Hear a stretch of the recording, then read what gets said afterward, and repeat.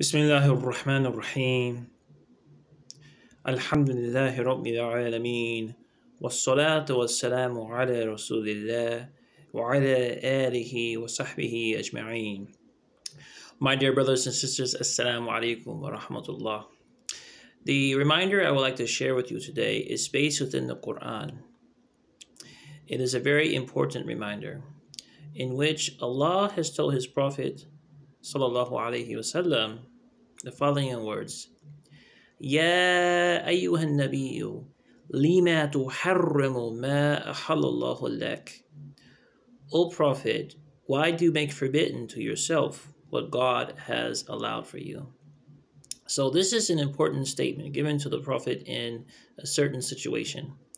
But the operative word here, or operative term here, is tuharrimu, lima tuharrimu, meaning that something that the Prophet used to do, sallallahu alaihi wasallam, is that he would be consistent in forbidding himself with what Allah has allowed for him.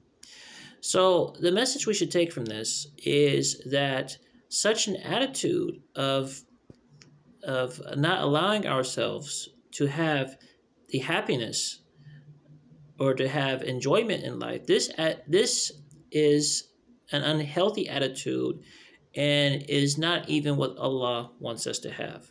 Allah wants us to have as creatures of his created by him.